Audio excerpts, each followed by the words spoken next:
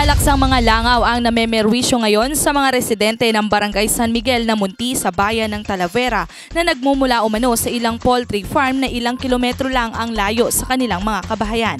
Reklamo ng ilang residente halos isang buwan na ang ganitong eksena sa kanilang barangay at marami na sa kanilang mga anak ang nagkakasakit dahil dito. Hindi lang ngayon namin na kuha nito, na-experience yung langon niya, kundi marami na. Ngayon na lang kami talaga, kumbaga, umalsa na tao dahil nagkakasakit na yung mga bata. Kaya ang ilang residente kanya-kanyang diskarte sa pagtaboy at pag-iwas sa mga pesting langaw. Ngunit sa kabila nito ilang maliliit na negosyo pa rin tulad ng mga kainaan ang isa-isa nang nagsara dahil sa pagdalang ng mga parokyanong dumadating upang kumain dahil sa mga langaw.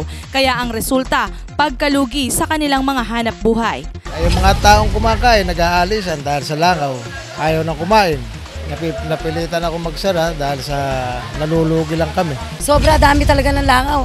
Labing limang taon na ako nagtitinda ng lutong ulam. Ngayon, di ako mabili ng halos. Kuminsan eh, isang libo pupuhunanin ko, kalahati lang ang babalik. Di siyempre, hindi na naman maano yon. Ngayon, laging ganon. Ayon kay Provincial Health Office Chief Dr. Benjamin Lopez, maraming sakit ang maaaring makuha sa mga langaw gaya na lamang ng pagsusuka at pagtatae na maaaring lumala at mauwi sa mas malalang karamdaman. So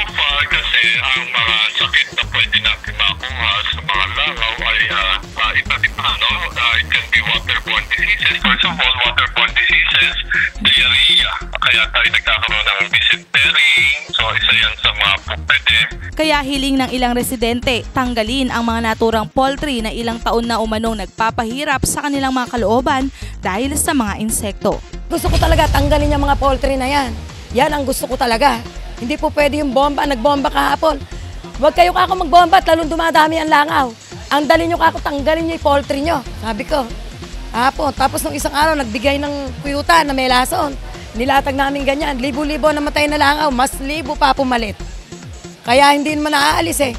Kaya yun ang gusto ko talagang maalis, yung mga poultry. Samantala sa panayam namin kay Virgilio Palilio, may-ari ng Palilio Poultry Farm, sinabi nito na ikinalulungkot nila ang pagdagsa ng langaw sa kanilang lugar dahil maging sila ay napeperwisyo rin ng mga ito. Bagaman hindi direktang itinatanggi ni Palilio na maaari o posibleng nakapagdudulot nga ng langaw ang kanilang hanap buhay, hiling niya na unawain ng kanyang mga kabarangay ang kanilang kalagayan at tingnan pa ang ilang posibleng mga dahilan tulad ng pagkakaroon ng maraming pinya sa kanilang lugar na mabangoan niya sa mga langaw.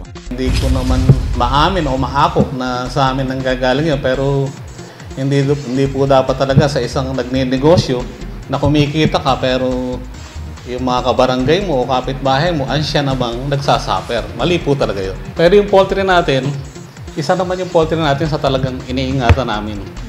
Lalo ngayong panahon ng, alam naman natin, magpanahon ng May, June, panahon ng piyesta, panahon ng prutas, aware na kami dyan na dyan lumalabas ang langaw sa mga buwan na yan.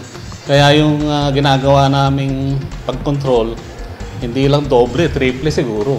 Pangako naman ni Palilio sa kanyang mga kabarangay na tripleng pag-iingat at pagkontrol ang gagawin nila upang hindi na mas dumami pa ang mga langaw na pumepeste sa kanilang barangay. Samantala, kasabay nito sinubukan din namin kuhanan ng pahayag ukol sa naturang issue ang isa pang may-ari ng poultry na si Junjun Trinidad, ngunit wala umano ito sa kanyang opisina. Gayon din ang punong barangay ng San Miguel na Munti na si Kapitan Florante Umali na siya umanong unang umaksyon sa nasabing reklamo kasama ang lokal na pamahalaan ng Talavera. Hanggang sa kasalukuyan ay pinag-aaralan pa umano ng pamunuan ng barangay ng San Miguel na Munti at local government ng Talavera ang naturang reklamo maging ang mga poultry kung mayroon nga ba itong pagkukulang at naging kapabayaan. Para sa Balitang Unang Sigaw, ako po si Mary Joy Perez. Unang sigaw.